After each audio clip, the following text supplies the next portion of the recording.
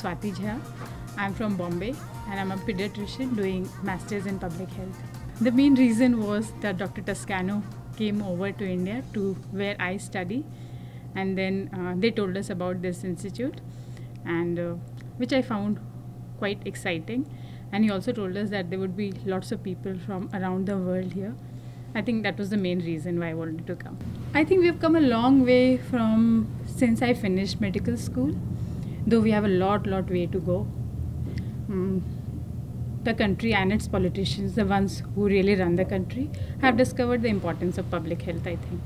I'm going to take back technical things from the media productions class and a lot of theory from the qualitative studies, uh, while the mm, Born a Woman class has given me a lot of global perspective and it is both uh, heartening and disheartening at the same time. Mm-hmm. You find out that uh, girls and females in US too have lots of problems, while sub-Saharan Africa is as bad as always.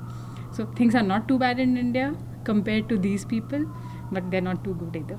Mm, the various conferences and WHO stuff uh, has shown time and again that the Western world has the nece- necessary expertise and technology, and the rest of us have the manpower that if we work together, we can all together improve the world's health, that is global health.